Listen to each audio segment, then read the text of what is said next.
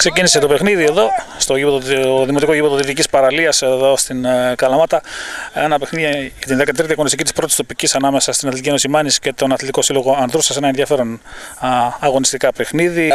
Εκτελεί ο Αντώνης ο Καλογερόπουλος, η μπάλα στην αιστεία και ο Γιώργος ο Χριστόπουλος κάνει την πρώτη απέκρουση του αγώνα. Πολύ ωραίο ε, τελείωμα. Πηχηγιώνει να παίζει με τον ε, Πετριτάη. Ελευθερώνεται, αλλάζει πολύ ωραία στον ε, Παναγιώτη τον Πουλάκο από αριστερά. Αυτός έχει δίπλα το Φετάχου. Σουτάρει ο Πουλάκος. Ε, θα περάσει όμως λίγα μέτρα έξω. Ραφιλίδη μαχητική και οι δύο ποδοσφαιριστές. Για να δούμε τώρα μια γρήγορη ενέργεια με τον Κυριακό τον Πουλάκο από αριστερά. Αντίπαλος του ο Δημήτρης Μπάλα. Μπάλα κόβεται έξω στο Φετάχου. Το σουτ που κάνει ο Φετάχου πέφτει στα πόδια του. Εκτάει χελάς, ωραία με το Σπυρέα. Σπυρέας πάσα για τον Κυριάκο τον Πουλάκο. Κοντρολάρει αυτό μέσα στην περιοχή. Ο Πουλάκος πλασάρει. Ο Πουλάκος χάνει μοναδική ευκαιρία εδώ. Ο Κυριάκος ο Πουλάκος πλασέ. Έχει αφήσει πίσω τον Τρεταφυλλίδιο Φετάχου και μπροστά τον μπάλα. Παίζει με το Χελά. Χελάς. Πάσα για τον Κυριάκο τον Πουλάκο. Περνάει για τον Σπυρέας. Σπυρέας σουτάρει, πλασάρει απέναντι γωνία στον ε, Κατσίποδα. Όμως χάνει και πάλι μοναδική ευκαιρία εδώ. Κλείνεται και γυρίζει προς τα έξω τώρα ο Γιάννης ο Καλογερόπουλο. Ψάχνει ελεύθερο συμπέκτη και βρίσκει στήριγμα το Διαμαντή. Διαμαντή σε ένα γέμισμα. Προ το δεύτερο δοκάρι όμως είναι σε καλή θέση, με καλή τοποθέτηση ο Βαβαρούτσος. Απομακρύνει την μπάλα και πιο μακριά ακόμα ο Πηχηγιώνη. Προσπαθεί ο Χελάς, κόβεται από τον Χαρμπίλα. Επιμένει εκεί ο Χελάς του σούτ. Μεγάλη απέκρουση ακόμα. Μία ακόμα απέκρουση από τον Γιώργο τον Χριστόπουλο. Ωραίο το τελείωνα, τελείωμα από τον Χαρπίλα, ο οποίος βρήκε την ευκαιρία να σουτάρει. Υποχρέωσε τον Γιώργο τον Χριστόπουλο σε δύσκολη απέκρουση. Ξεκίνησε το παιχνίδι ε, εδώ στο γήπεδο Δυτικής Παραλίας στο δεύτερο ημίχρονο. 0-0 το αποτέλεσμα, όπως το είχαμε αφήσει από το πρώτο κιόλας. Οι δύο ομάδε μπήκαν ε, στο δεύτερο ημίχρονο χωρίς κάποιες αλλαγές και θα έτσι θα λύσουν τις διαφορές τους σε αυτό το δεύτερο ημίχρονο. Έμπαινε επικίνδυνα απέναντι στον Κατζίποδα Φετάχου. Με στην περιοχή Πουλάκος Φετάχου τώρα που φεύγει πολύ ωραία. Φαίνεται πάρα στο δεξί σουτάρι. Ο Φετάχου η μπάλα όμως θα περάσει αρκετά έξω. Μαρκάρεται. Συνεχίζει ο Ντέλσο Καλογερόπουλο. Πάσα για τον Χαρμπίλα. Χαρμπίλας με τον Διαμαντή. Πολύ ωραία μέσα στην περιοχή Βασιλογιανακόπουλο. Ομόρφη πάσα κόβεται τελευταία στιγμή από τον Βαβαρούτσο και νέα το τελείωμα εκεί του Βλαχόπουλου στην επιστροφή της μπάλας από τον Βασιλογιανακόπουλο. Θα περάσει τον Βλαχόπουλο. Βλαχόπουλος απέναντι τον Χριστόπουλο. Πλασάρει Βλαχόπουλος και είναι το γκολ. Είναι το 0-1 για την ομάδα της Ανδρούσας. Πολύ ωραία εδώ η τελική πάσα που θα κάνει ο μέσος της ομάδας της ε, Ανδρούσα η θα περάσει για τον ε, Βλαχόπουλο. Ευνηδιάστηκε εδώ η άμυνα της ε, Μάνης. Ο Βλαχόπουλος βρέθηκε απέναντι στον ε, Γιώργο τον Χριστόπουλο. Πλάσαρε εύστοχα, άνοιξε το σκορ. Έτσι λοιπόν η Ανδρούσα προηγείται πλέον εδώ στο γήπεδο Δυτικής Παραλίας ε, χάρη στον γκολ του Φάνη του Βλαχόπουλου. Ε, Κρατάει ο Χελάς. Χάνει στον Παλατογιάννη τον Καλογερόπουλο. Μπαίνει επικίνδυνο ο Γιάννης Καλογερόπουλο μέσα στην περιοχή. Αποφεύγει και τον Βαβαρούτσο. Καλογερόπουλος απέναντι στον Χριστόπουλο. 0-2.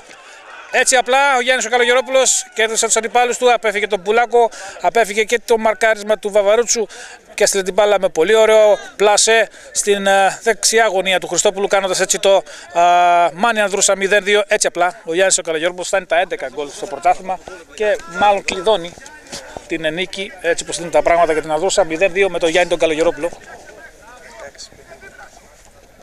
αν μπορεί η Μάνια να μπει στο παιχνίδι. Χελάς, εκτελεί η μπάλα. Πολύ καλή εκτέλεση πάνω όμως από το ζώδιο δοκάρι του Κατσίποδα. Είπαμε του παιχνιδιού.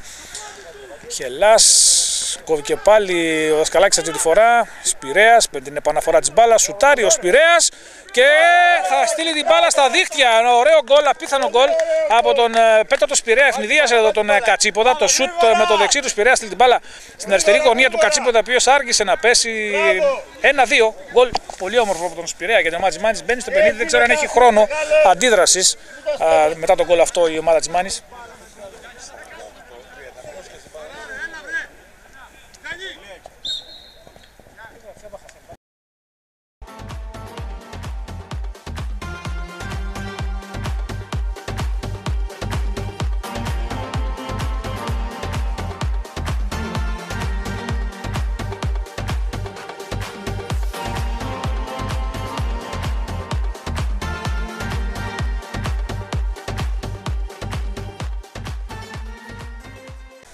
Εντάξει, ήταν ένα παιχνίδι το οποίο νομίζω ήταν μοιρασμένο. Στο πρώτο ημίχρονο είχε δύο καλές ευκαιρίες η Μάνη να προηγηθεί. Ευτυχήσαμε να μην φάμε τον γκολ στις δύο κλασικές τους. Στο δεύτερο ημίχρονο αλλάξαμε κάποια πράγματα. Μπήκαμε, κάναμε γκολ γρήγορα και νομίζω ότι μετά τα πράγματα είναι πιο εύκολα για μας. Βάλαμε και το δεύτερο. Νομίζω δεν κινδυνέψαμε στο δεύτερο ημίχρονο σχεδόν καθόλου και δεχτήκαμε ένα γκολ από μία δράνια στο 93 και 94 λεπτό.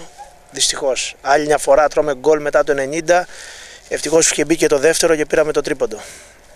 Οπότε τώρα η συνέχεια της Ανδρούσας ε, είναι όσο πιο ψηλά και η νέα χρονιά. Κοιτάξτε να δείτε, ο στόχος της Ανδρούσας από την πρώτη στιγμή ήταν να καταφέρει να πάρει μια θέση παραπάνω από πέρυσι.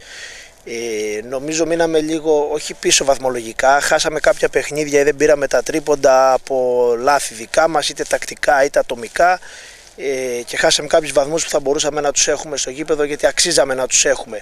Νομίζω ότι όμως είμαστε μέσα στο στόχο μας, ε, μπορεί η ομάδα να, να πάρει τη θέση που της αξίζει, να είναι ψηλά, να πρωταγωνιστεί. Δεν μιλάμε μόνο για να πάρει το πρωτάθλημα. Το να κάνεις πρωταθλητισμό σημαίνει και μεγάλα σερή και νίκες και από όλα νομίζω έχουμε τις δυνατότητες. Τώρα λιγάκι θα ξεκουραστούμε τις 15 μέρες να δούμε τι μπορούμε να κάνουμε για την ομάδα, να φέρουμε και τους τραυματίες, να γεμίσουμε, να είμαστε ακόμα καλύτεροι για τη συνέχεια.